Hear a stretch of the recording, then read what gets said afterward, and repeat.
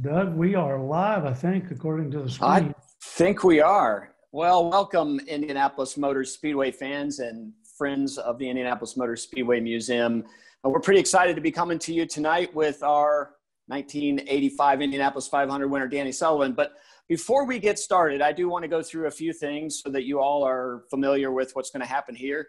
Um, everybody will be put on mute when they come in the room, so uh, you can watch us and you don't have to worry about what you're saying in the living room that we're going to hear it. So you guys are, are on mute. And that also wants you to know that if you're trying to ask us a question, we can't hear you uh, because you're on mute. If you're having any kind of problems tonight, you can always reach out uh, to Julie Hiatt. That's J Hiatt at brickyard.com. So J H I A T T at brickyard.com. And she'll do the best she can to as quickly as she can solve any issues that you might have. You know, this is the fourth one of these that the Indianapolis Motor Speedway Museum has done. And if it were a normal year, we'd be doing a lot of these in person at, this, at the museum. I, I say that only to tell you that the museum is a foundation. It's separate from the Indianapolis Motor Speedway and it survives on your support, your donations, and your efforts. So if you can go to uh, the museum's website, we would really appreciate you becoming members of the Indianapolis Motor Speedway Museum. They are the caretakers of the history of the Indianapolis Motor Speedway. Those cars that you see tell unbelievable stories. And without folks like you participating alongside the Indianapolis Motor Speedway Museum and the foundation, we can't tell those stories. So thanks for joining us tonight. Uh, thanks for being part of this. You know, as I think most of you know, the museum right now is closed as we've been dealing with COVID. The museum made the decision to close until shortly after Thanksgiving. So stay tuned there to see if we can reopen uh, the museum following Thanksgiving. But remember, we've got some great exhibits there. We'll talk a little bit more about those uh, before we close to remind you that you want to come see uh, the Granatelli exhibit. You also want to see from the Vault exhibit, and we'll talk a bit about more, uh, more about that at the end. But right now, let's get started with why we're all here. It's uh, exciting when we get an opportunity to talk to uh, one of our favorite Indy 500 winners. One of the most magical stories in Indy 500 lore is that victory that uh, Danny had in 1985. But if I were introducing him, there's a whole lot of ways you could introduce Danny Sullivan taxi cab driver, lumberjack, TV personality, actor, a whole ton of things that Danny Sullivan has done across his career and continues to do. And that's what makes him, I think, one of our favorite Indy 500 winners is the combination of that unbelievable win and then all of the things that he's done outside of the race car, really to elevate our sport and continues to do to this day. So, Danny, uh, thanks for taking a little bit of time and spending time with us. Welcome uh, to Indiana from California. Well, thanks, Doug. It's always good, one, to talk to you, also to represent the uh, Indianapolis Museum.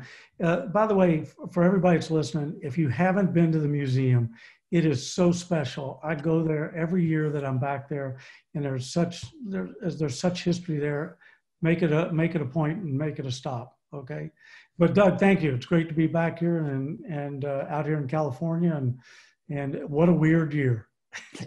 it it has definitely been a weird year. You know, we asked fans to uh, send some questions in, so we're going to get to some of those um, as we go over the course of the next uh, 50 minutes or so, uh, spending time with you. But you and I chatted a little earlier, and I thought it might be fun to to just pick on some stories um, throughout your career that aren't necessarily the stories that those of us who are hardcore fans have heard before, although we want to hear a few of those while we're here.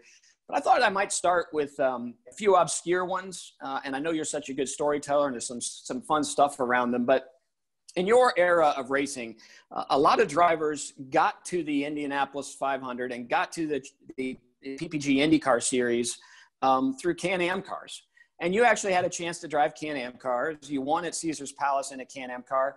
Can you talk a little bit about just how, the craziness? We see those today in vintage races, the horsepower, the size of those cars, just really romantic cars in a lot of ways. Talk about what it was like to drive one of those cars just a rung below getting to the IndyCar series. Well, the Can-Am for me was just a, a fabulous series. Of course, back in the day, you know, they made, I don't know, 500 horsepower or something like that but that was a lot of horsepower in those days. And uh, they had a lot of downforce because of the body work. They were fun to drive. Every, you could lean on the other driver. So it was really close racing, all road courses. And uh, what a what a list of drivers that competed in it from Al Jr., Al Sr., uh, Patrick Tambay, you might remember, uh, Keke Rosberg, um, Bobby Rahal. I mean, the list just goes on and yep. on.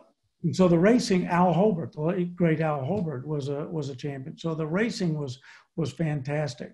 but probably for me in that era was one of the most fun series because you'd race hard Sunday night because everybody wasn't zooming off and going to sponsors or making a, a plane or this, that, and the other. All the teams, all the personnel, all the crews, everybody, even the corner workers, everybody, they'd have a party afterwards. Paul Newman had the Budweiser team, so Budweiser supply the beer. My backer during a lot of it was Garvin Brown, so there was Jack Daniels everywhere. Um, you know, there was a big barbecue, and it was just a really festive way to end the weekend. And win or lose, everybody had a great time. It was it was a fabulous series. So, so you um, win at Caesar's Palace, and you you'd been over in Europe, and you come back and you do the Can-Am series, and you have an opportunity to run a year in Formula One. Uh, you had a couple of really bright moments there, finishing fifth at Monaco, I think, and then and then your race of champions. Maybe talk a little bit about both of those. Running at Monaco, even if you're just an IndyCar fan, we like to tune into that on Indy 500 Sunday usually because it's just such a unique event. It has the history like the Indianapolis Motor Speedway. Maybe talk a little bit about that, and then tell us a little bit about that Race of Champions event that you almost picked up a win in uh, your first year over there. Well, I did the Race of Champion first. It was my third race. And I got a call from Tyrrell on like Tuesday afternoon in California. Said, "Hey, listen, uh, your teammate Michele Alboreto can't do the race, so can you get over here and do the race?" I said, "Isn't it this weekend?" And he goes, "Yeah." So that meant I flew on Wednesday, got there on Thursday, and practice was Friday morning. And you know, coming from California, big time change, but um, anyway, it, it worked out, and I qualified okay, and the past world champion Alan Jones was in it. A lot of people were in this race. And the funny part is going at the start, and I've raced at Brands Hatch a hundred times because I used to live across the street. So I knew the track well. And I got to start, and the, the grid is off camber a little bit, and you go up to Paddock Bend, and you, you got to be really careful. And it's a really fast off camber downhill right hander. And I got punted from behind and I swerved to miss. I think it was John Watson or and I swerved and I went all the way around the outside of about three cars going down through Paddock Bend. I was scrambling to save the car, and I made this pass, moved up quite well. It got up in the top three or four, and then and then the race went on. And I caught Rosberg toward the end. And again at Paddock Bend, we went around and around side by side up into Druids, the hairpin and I got around him on the outside and he opened the door on me and kind of squeezed me onto the grass coming off of it. And, uh, but I, I lost it by a nose, but that, that was my first F1 race. So it was a pretty special deal. I think also I had been out the night before with a buddy and I think a little bit later than I probably should.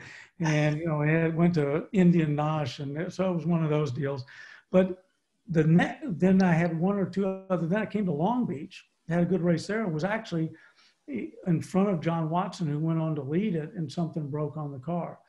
When I got to Monaco, and I'd driven some big cars and stuff like that, but Monaco, the streets are one narrow anyway. But when you come through Sainte-Devote, that's the one that goes up the hill before into the casino square. You're going up there, you know, even back then, 160, 170 miles an hour, and it is this wide. really we're in a Formula One car going up there. But in the race, like, so I qualified dead last. It rained on qualifying, so our practice up held up. I used to qualify twice back then. Held up. I got in the race. Neither Niki Lauda or John Watson the McLarens qualified. So I'm last on the grid. It's raining, and I'm talking. It's raining. It's not misty. It's raining. And Ken Tyrrell comes up to me and he says, which tires do you want? And I was I was about to say, you know, make some rude comment about really, and he goes, that's what I thought. So we're putting slicks on them because it's going to start, it's going to dry out. And in those days, they didn't do pit stops. Okay. And I look over, and Elio DeAngelis is in the JPS uh, Lotus, and he looks over and he kind of goes, Are you crazy? Slicks? Are you crazy? It's raining. And um, it was the scariest first five laps ever you know, you're just tiptoeing around, but guys were starting to slide off and crash.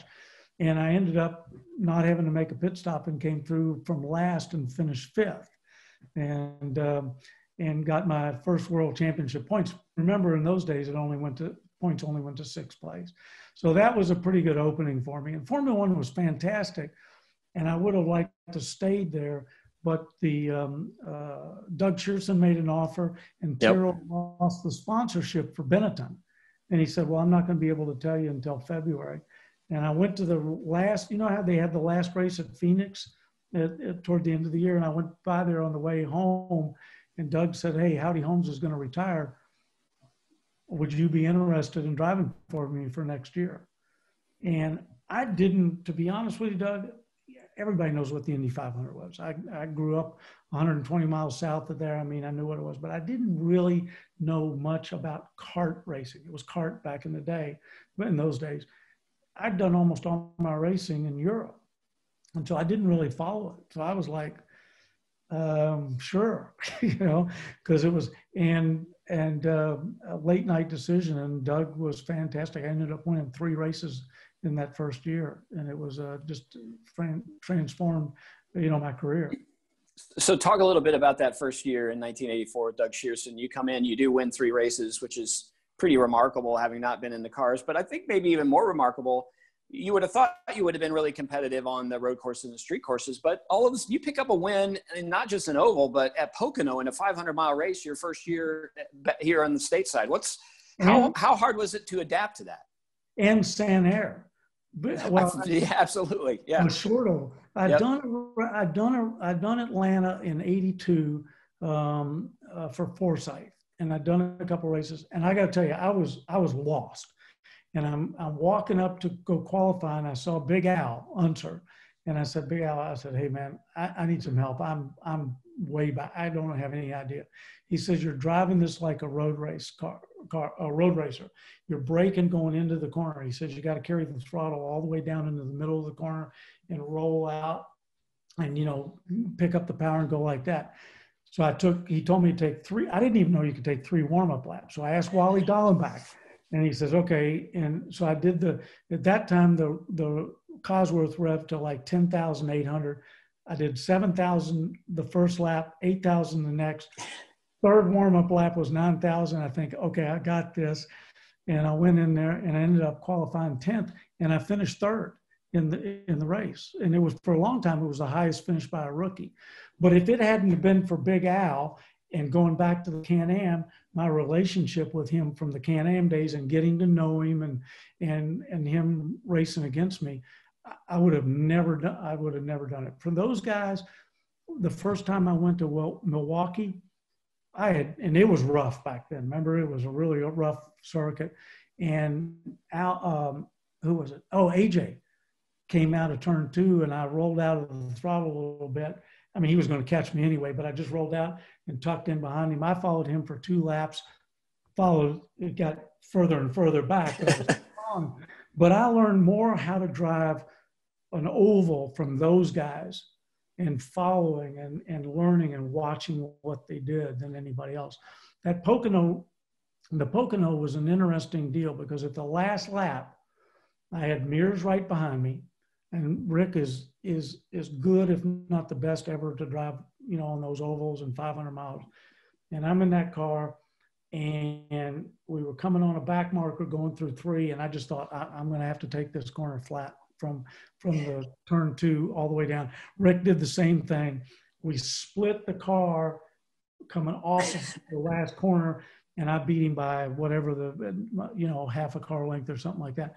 But what I was telling you that story is I think right then that's one of the reasons that Penske uh, contacted me to see if I'd signed a contract with Shierson was because not only did I win a 500 miler, but I beat Rick Mears in a fair race. And and you know, I, you know Rick, and I say this honestly, he was he was as good, if not the best, there was on those ovals. Right, and I think a lot of us would agree with that. But uh, you certainly uh, proved yourself, ended up a triple crown winner in terms of the 500 miles. You have four, I think, four or 500 mile wins under your belt in terms of Pocono, a couple times in Michigan and at, at Indianapolis.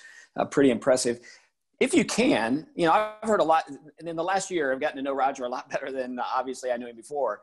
And it's been really fun to exchange stories with people about their first experiences with with Roger Penske. Um, and then, in fact, drivers, it's been fun to hear about how they got the call and how they knew all of a sudden, oh my gosh, I, am going to get to drive for the, the best owner in the history of motorsport. How that, how did that happen for you?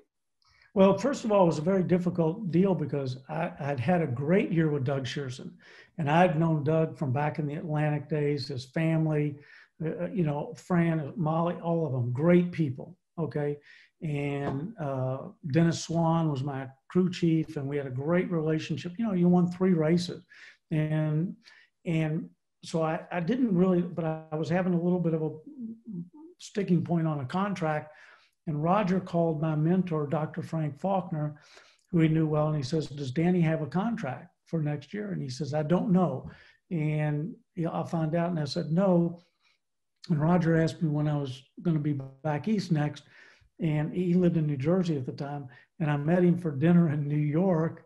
And typical Penske, okay? Meet him for dinner.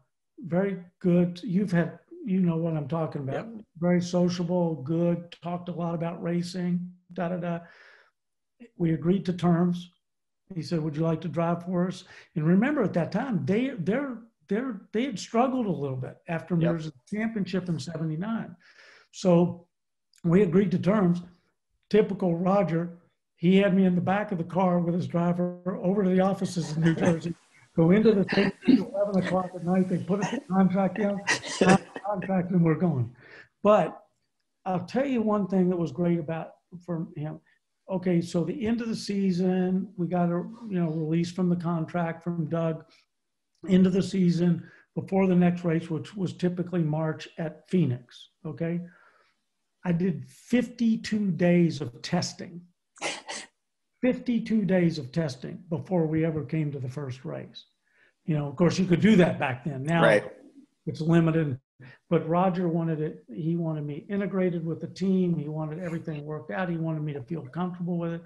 I mean, he, and the one thing, is, you know about Roger, now especially in, in the current position, he's, he wants to win almost worse than anybody else, if not more so.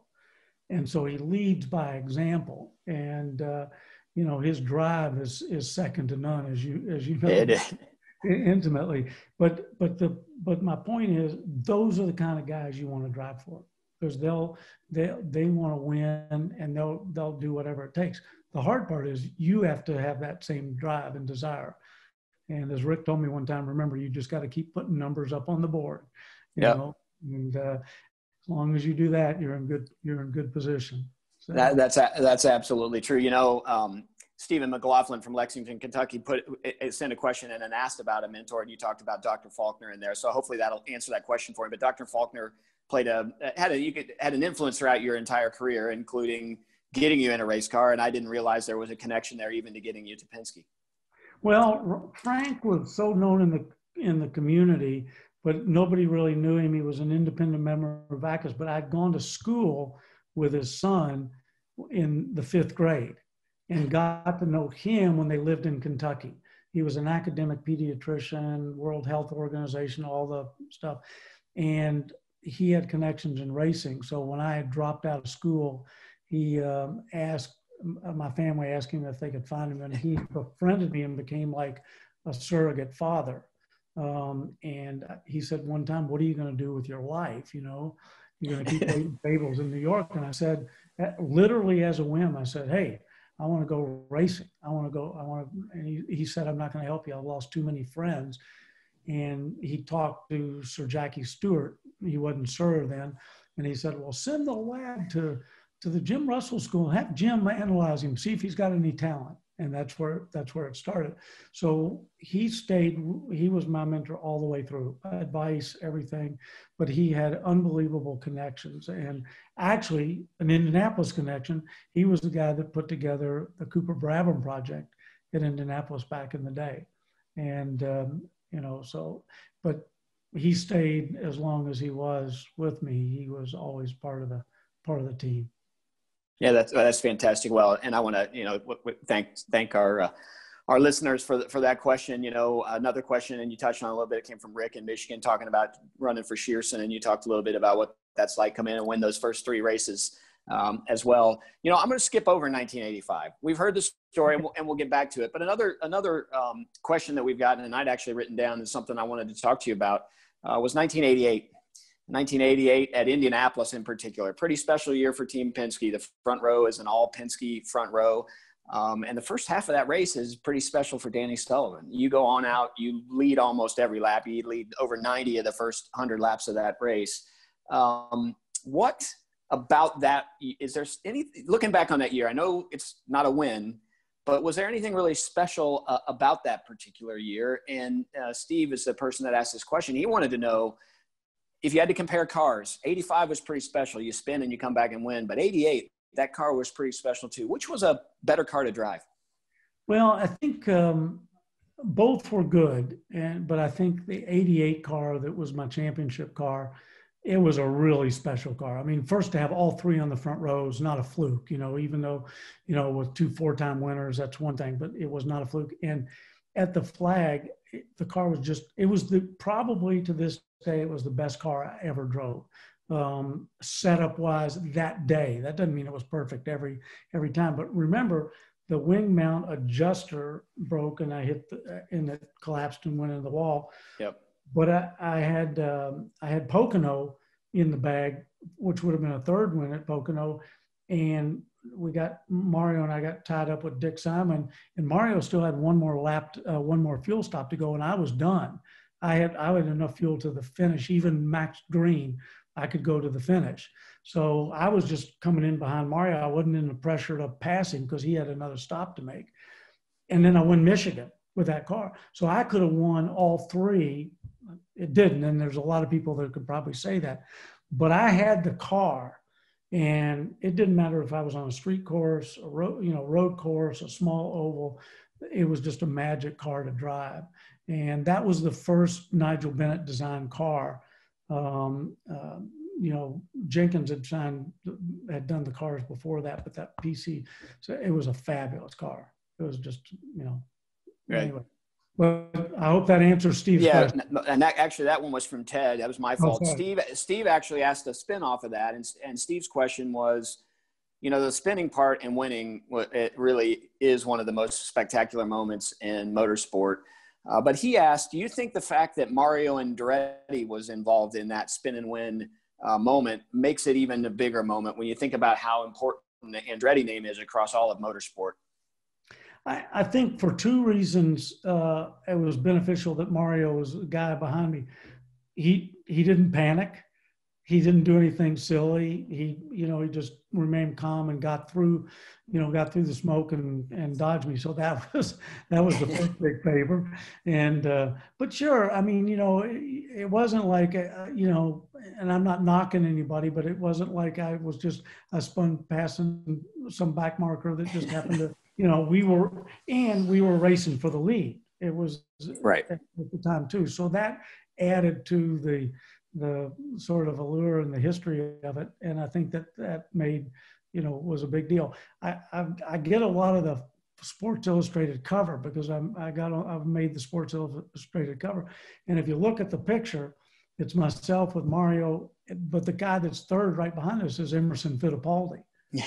so if you really look at it, you go, okay, that's pretty cool company for, for, me, you know, I mean, those guys are, and Mario was a big influence in my career uh, for a lot of reasons. When he was when he was teammate to Gunnar Nilsson and, and Lotus when he won the championship, Gunnar and I were best friends, and Gunnar never wanted to go to the airport when Mario would come into town, so he'd say, "Take my car." He had a Lotus. he'd say, "Take my car." So I got to know Mario, and then when when Gunnar got sick, I was kind of a go between between them, and Mario and I became friends. And he helped me get in the Can-Am seat back in the day at a bar at Riverside, at the hotel where everybody was staying, and I was there with my soon-to-be backer Garvin Brown, and I'd left to go to take a leak or whatever, and I'd come back, and and Garvin said, "Okay, well, let's do something." And I said, "Well, that was kind of quick," and he said, "Well, Mario said." he said, "Hey, you need to help this guy out. This guy's got a lot of talent. Help him out." You know, and so, but you know, again, Mario Andretti. You know, so but Mario was funny because he didn't he didn't really want to talk to me much for about a year after that after that went because he he he figured he had the dominant car, but he's such a class act and look yep. at all the things he's won and and uh, love the guy. So so so is there a, is there obviously spinning is a big memory there, but is there a point during that race when you might have gone from oh I just spun I don't have a chance of winning to where all of a sudden your mindset turned right back around and said hey I still can win this Indy 500 or was it immediate? No, it was not immediate. I'll tell you exactly when it was. Some laps later, uh, when I was coming around, I got behind, uh, I think it was Howdy Holmes and Tom Sneva. And we're coming down, and I'm I'm getting ready to pass him, and I'm coming down that straightaway.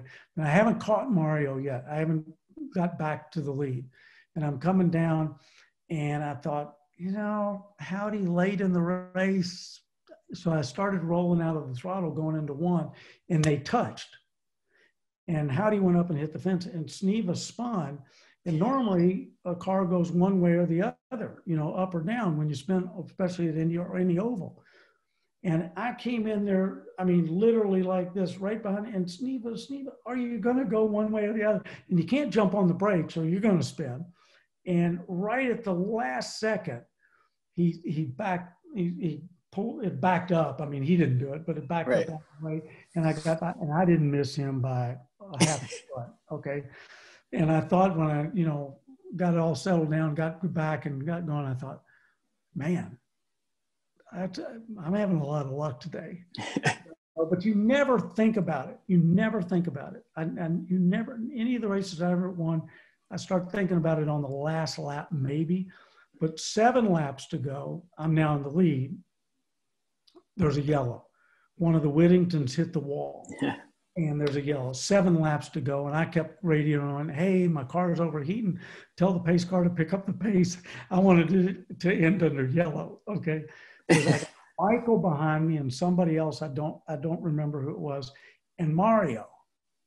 And I yep. thought, okay, well, they green flagged it with four laps to go. And I was I backed everybody up coming down the back straightaway because I was not going to get overtaken on a restart. And uh, I took off. And ironically, I think my fastest lap of the race was like 198. Okay. Yep. 198. I was like, don't look in the mirrors. Don't look in the mirrors. Just hit your marks. Make every, you know, just stay on, stay on. And uh, I think really coming out of turn four is the only time that you really go, damn, I'm I'm about to win the Indianapolis 500 because you're just you're hearing things, you're thinking things, you know, you know. Anyway, it was a, so. I, I, just expand on that a little bit um, because again because of what's happened to us in the last year. So um, we affectionately internally call roger 18 um, and we know that someday we may have to change that terminology for him. But looking back on your career i'm going to ask you about two penske moments.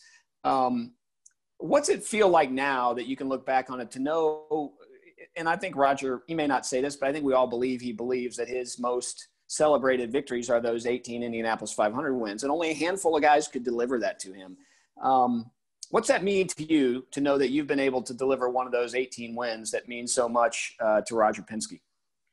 Well i would agree. I think the roger um, his season is about winning the indianapolis 500 first Okay. Then after that, then let's win every race and the championship will take care of itself. I think that's the more of the mindset. But the goal is the Indianapolis 500. And you know when he had their uh, one of their big parties for the 50th anniversary, and to be there, you know, with Rick and all the people, Elio, big, you know, everybody, you know, it's a pretty unique club, and and you did it for the captain you know, and uh, and that's that's a, a, really special special deal, you know. And even even around here, there's a lot of car people, but not everybody knows uh, that much about racing, you know, especially at our golf club because there's a lot of diehard golf guys and stuff like that. But when you say, "Well, who'd you drive for?" You say Penske. Oh, you drove for Roger. you know, and no, yep. and no disrespect to Doug shierson but unless you were a unless you were a fan uh, of racing, yep, you wouldn't know. And uh, and you know, of course, it doesn't hurt that his name's driving around on trucks all over the place, and you know, and he's bigger than life, and and so forth. But yeah, it's a special feeling. Yeah, absolutely, and I and I feel that way. Just the opportunity to have been able to work for him the last twelve months has uh, been a pretty special moment. You know, speaking of Penske and parties, um, your last uh, run with Roger ends up being a win at Laguna. Not just a win. I mean, you lead the whole thing, um, and you you celebrated it in a pretty neat way. And and talk a little bit about what that again, looking back on it, knowing that the next year you were driving for somebody else that happened to be your last race for Roger Penske, but it was a win, and it was a win in a dominating fashion. And then uh, talk about the uh, bar bill afterwards. well, Roger you know, they weren't going to tell me what they were all doing for design wise or if they were trying new things for the next year. But, but you know, to his credit, he gave, uh, you know, he didn't cut any corners. I got 110%. Everybody was working just as hard at that race, even though I was going to go as any anything else. And I decided because it was Laguna Seca in Miami, they used to celebrate the championship. So I thought, well, I'm going to have a a party to honor my team and my guys and have everybody there. So I, I booked the um, beach club at Pebble Beach for the party, and it was it was really light hors d'oeuvres and, and an open bar, and um, my bar bill was seventeen grand for the deal. And yeah, this is 30, 30 years ago. and, yeah, and my and my uh, I never forget because I knew the manager of the tap room, which is the bar up off the main part of the lodge, and the beach club's a little further away, and I knew him, and so oftentimes when there was a party down there, especially on Sunday night, because they'd close a little early on Sunday night, he'd come down to see if the people are going to filter up to the tap room, so he'd keep the tap room open. And he told me afterwards he came down, walked into the beach into the beach club, looked at everybody, heard all the noise, everybody. He calls them up and he says, Close the doors, shut down. We are closed for the night. We don't want any of these people coming up here. But it was a, but it was just a great celebration because the thing at Penske is all those guys are team, they're all family, everybody's worked so hard. We don't win championships you know, by ourselves. And, and of course, Laguna was a race that a lot of people can like to come to. So a lot of people brought their wives out and girlfriends and stuff like that. So it was a, uh, even my parents left and said, when they left, it was like, good luck. But, well, it's it's a it's looking back on it, it's a you know pretty cool the things that you could deliver Roger, but uh, not a lot of people on their on their last time strapping in a Penske vehicle can say I, I, delivered what he asked me to do, which is win races, and and that's pretty impressive.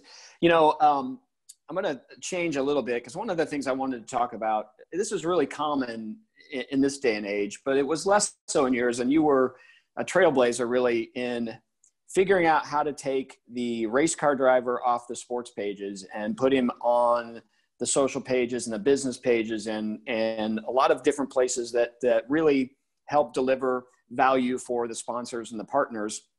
And you understood that. And when i sort of half joked at, uh, at the beginning about you being everything an actor uh, a tv commentator uh, celebrity endorser those were things that you really pioneered in a way that nobody else had we got a really interesting question. I'm going to actually read this question because I think uh, it speaks a little bit to how much you care about your fans as well. And then I'd like you to talk, uh, maybe answer that question, but just talk about um, that part of your life and why it was important. And then maybe um, it, you're going to hear this question. And I think the first answer is going to be um, because you didn't have social media. It was part of the reason you can answer this. But this question comes from Kyle Wittenberg in Houston, Texas. And I love the first part about, of this question. He says, Thank you for giving me the opportunity to submit the question. Danny returned a signed letter to me in the early 90s after I wrote him, and I still have that letter framed to this day. And my question for Danny is Mr. Sullivan, during your career, you were known as a racing pioneer with product endorsements and having an active social life off the track. From Hugo Boss, Miller, and Molson, your endorsements continued today uh, as I own one or more of your signature uh, Zanto Icon watches. My question is Did your seemingly jet setting lifestyle ever cause any negative consequences to your racing career? And the reason I laugh about a lot of guys have to be careful what they're posting on social media because they're so accessible, but maybe address that a little bit. But again, I was going to ask the question of you really were. Uh, the trailblazer and learning how to not just be a race car driver, but be a business person and an endorser at the same time. Well, uh, you guys are all very kind. I think how it started was when I was a gopher for Tyrrell, when I first went to England to go racing, I, I was a gopher for Jackie Stewart and the Tyrrell team. And I learned a lot through Jackie because he was one of the first true professionals, you know. And he said it's a lot easier to be kind to everybody and sign the autographs. And he told me, he said, have a signature that people can read. He said, not this hen scratch. He said, have something that people can read because then it'll mean something. But two, what happened is when when I was trying to raise money to go racing, I looked at it and said, okay, if I've got similar looks and I've got a similar personality and, and this for this guy to this guy to this guy, we're all having similar performances on the track. What will make a sponsor sponsor me over that guy or that other person? And that's when I realized that, hey, I've got to be better at marketing myself and and trying to be off of the main page. Look, we're going to get the cover in, you know, Auto Week or Auto Sport or Motoring, any of the motoring publications. Right. Back in the day, Speed Sport News, all the things, Racer Magazine. We're going to get that because we're in the top echelons of the sport. How do I get on People Magazine, US US uh, Us Magazine, Women's Wear Daily, the stuff that's really, and also the numbers were that women do the shopping. Okay, so how do we how do we how do we make that how do we make that deal? And luckily, Benetton, after the Grand Prix in Long Beach, Luciano Benetton, I had a translator working for me. He says, in America, you get you have to get Danny a PR agent and that's how it really started was it was somebody else's you know, claude gave the idea and it morphed into something bigger. And then that's where all the other endorsements came. And then some of the places i lived like i lived in la so i got the nickname hollywood. And you know if you're in places like that yep. in, aspen you're running into people that are you know so anyway that's how it, it morphed into it. But um, but it was really to do over raising over raising sponsorships, and that's how it started. Did, did you ever get to a point um, where you had fatigue from it, where you just didn't, where you got to a point where you didn't um, have a time to yourself, you didn't have that point where you could just relax because people knew you from the racing, and now all of a sudden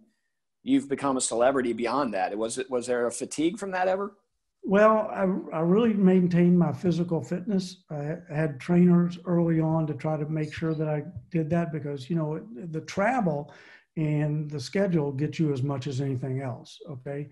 And so I remember saying to RP after after the Roger after winning there and going on three morning shows and all that sort of stuff. I said, "Look, will you tell me if this is starting to take away from my performance?" And he said, "Don't worry." But, it was, but don't forget, it was good for for him too because yep. of sponsors, because they were getting exposure that they hadn't gotten in the past. So you had to kind of find that balance. But I will tell you something that, um, and I was not as anchored as it was with a home. I didn't have, you know, family and all that. So I was a lot more willing to go on the road. But when I won uh, at the end of May the um, Indianapolis 500, with all the races and the appearances and everything, my first day off after winning in May was December 22nd. I went nonstop. But here's the here's the thing: there were people calling you up, and a lot of it was really good. And they're calling you up and saying, "Hey, we want you to open a shopping center. Da da da. We'll pay. We'll send a jet for you. We'll pay this. We'll give you. You know."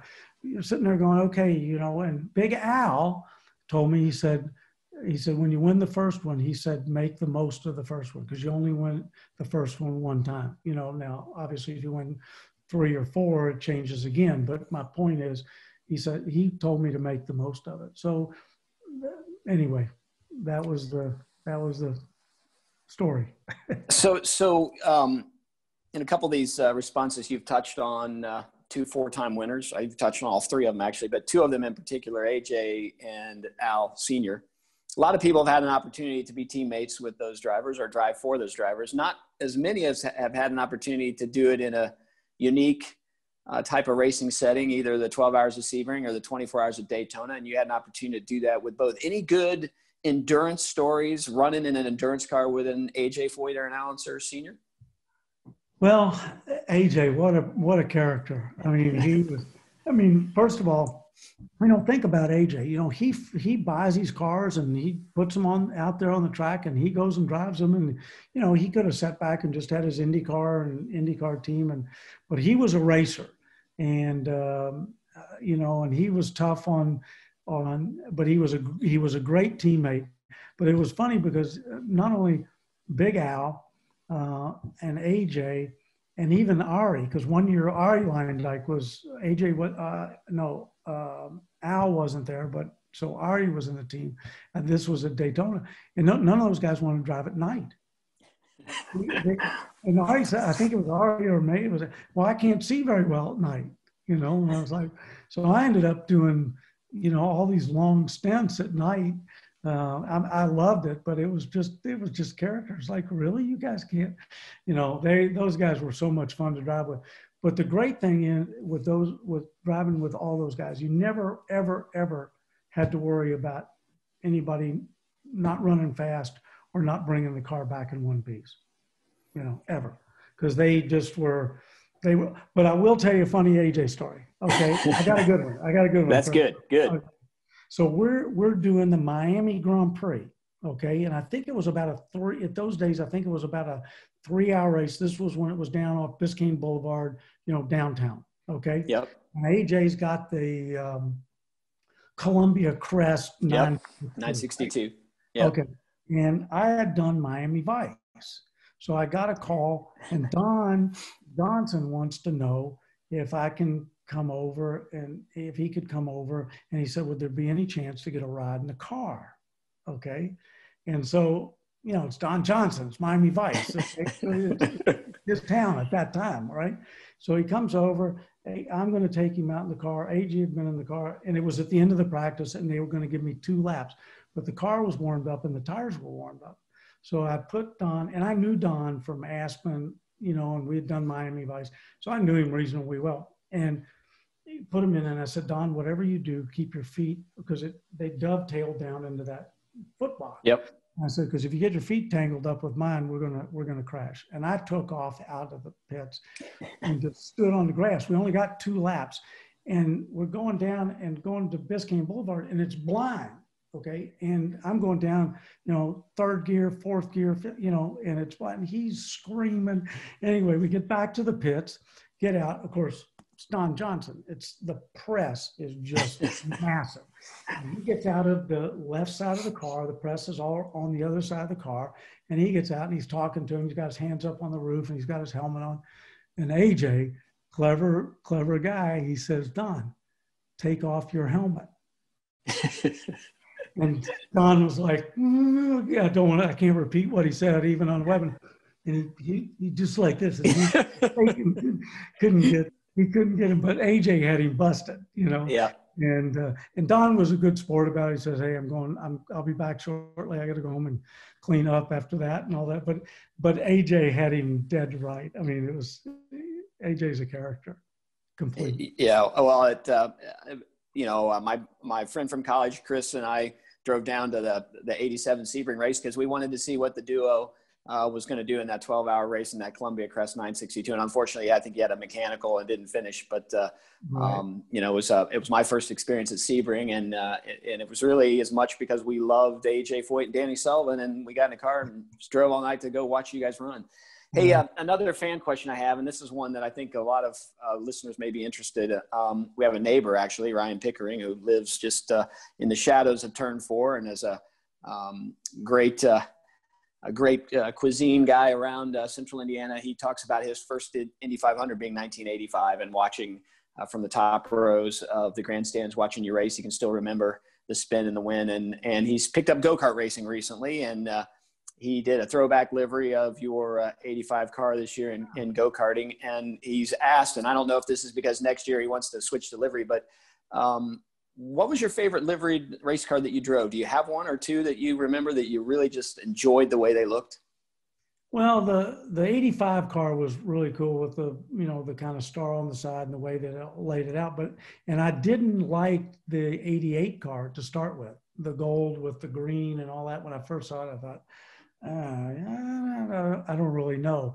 But I ended up loving that car. I mean, and the paint scheme. It really stood out. And yep. uh, and I, you know, I think that that was one of my of the Indy cars. Those were, you know, because the Miller car didn't change that much over the course of the year until it became the gold car and uh, the championship car, and that was a that was a special color scheme. And I, I will tell you this, Roger, when they first proposed it, I mean, Roger really got in there and worked to get the the green and the red and really make it look. Uh, uh, I think the first iteration wasn't that special, but it turned out to be a great car. And so, so um, fast forward just a, a little bit. Um, Penske days are over. Um, one of the maybe the more uh, uh, spectacular wins, looking back at it, at least as a fan, knowing what you were saddled with, is a Long Beach win that you picked up driving the Galmer. um, so the beginning of that year looks like, hey, we might have some luck here. We win. Um, how frustrating was that season? And looking back, how satisfying is it to know that somehow um, you finished fifth in Indy that year? Al Jr. picks up a win, but uh, you also win at Long Beach in a car that uh, um, that as you look back on probably um, maybe was a little bit harder to drive than some others. And Detroit, and Detroit. Yes, yeah. But um, and both I had, uh, you know, you know, it was a funny race, Long Beach. Um, but what they, uh, I just saw a video. Somebody was showing me something the other day and said, "Hey, tell us what happened here at the end." But what they forget is that Little Al and I had driven around that race nose to tail for like 80 laps.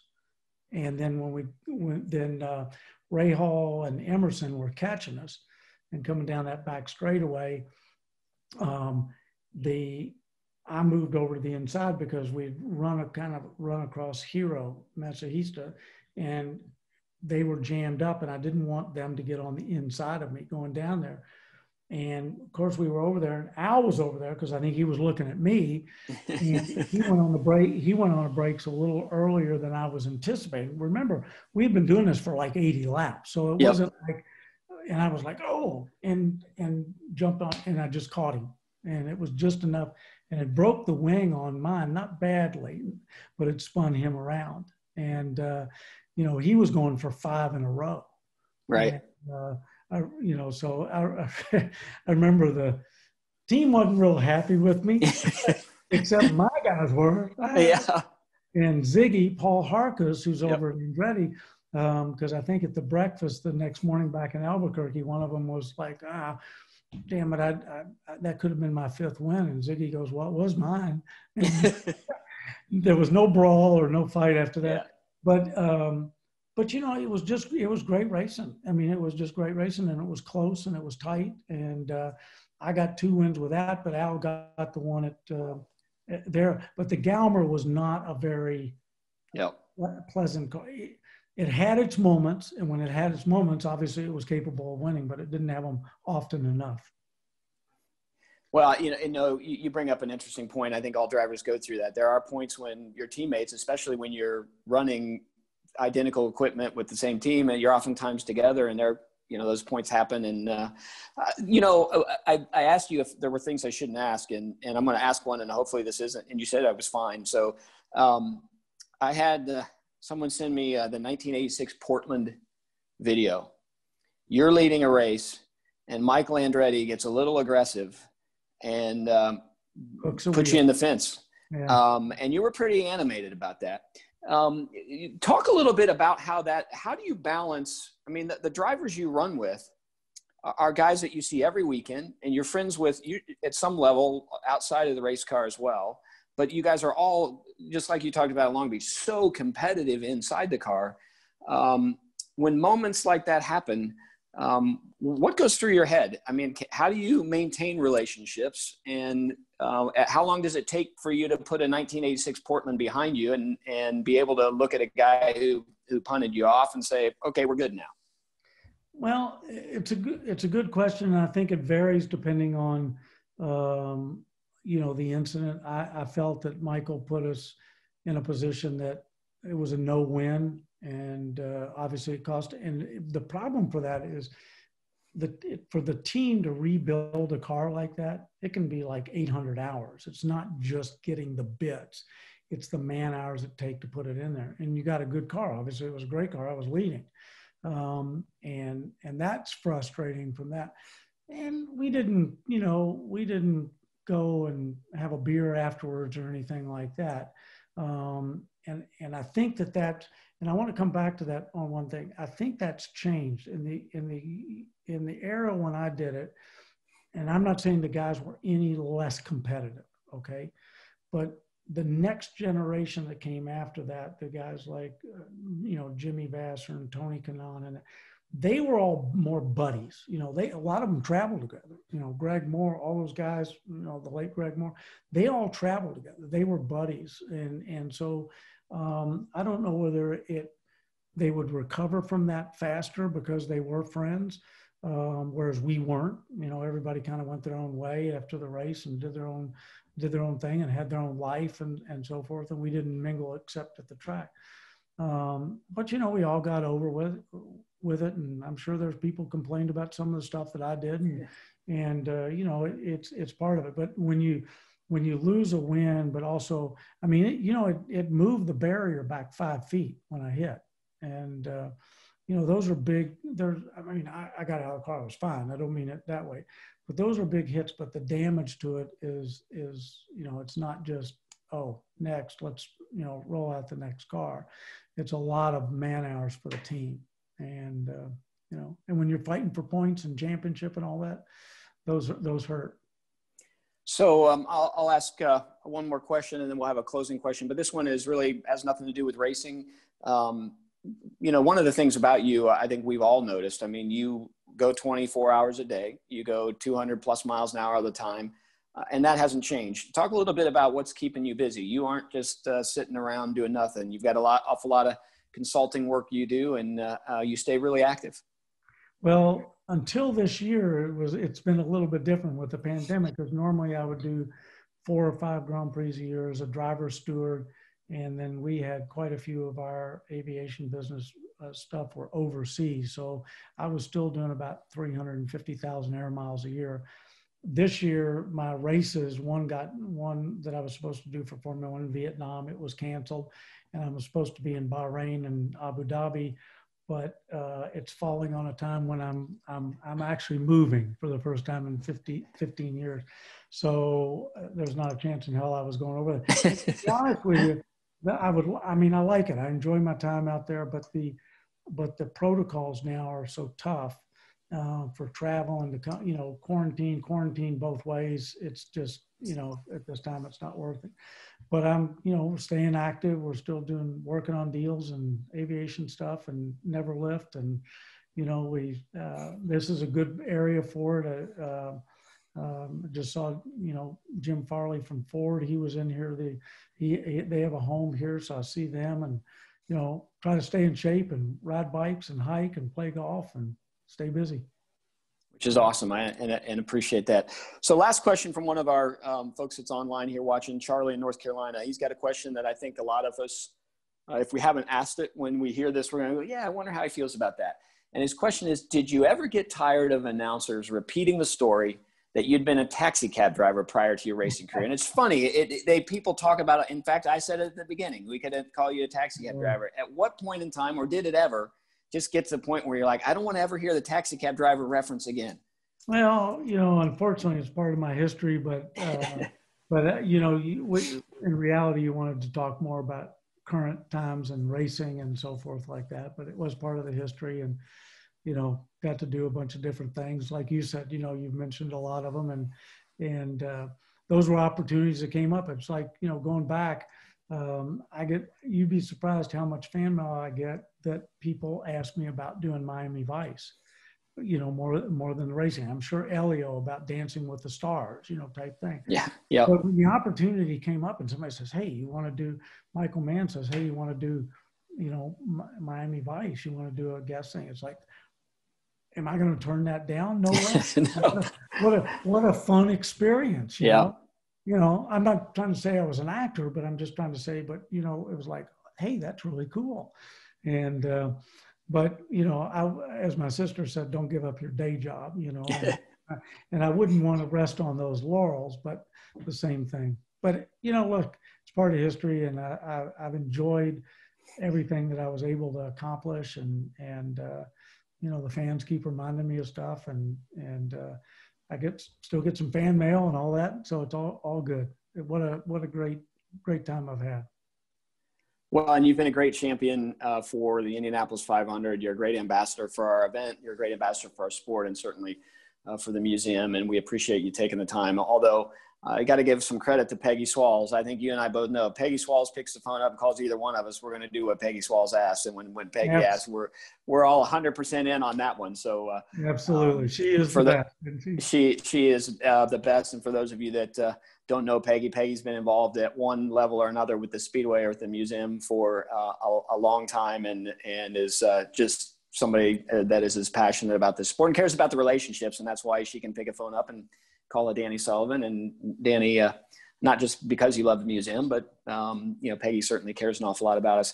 Well, I, again, I, I, can't thank you enough on behalf of everybody who's participating here. We're going to post this as my dogs walk in. So if you hear if you hear barking, gonna, I got a big I got a big golden doodle and a little um, a little uh, Italian Greyhound named after Kimi Räikkönen, and they uh, uh, they've decided it's time to break down the door. So, um, but you. thank you so much. You know, um, watching the spin, knowing that the outcome of that doesn't get old for any of us. In fact, it gets more magical every time, uh, every time that we get an opportunity to see it.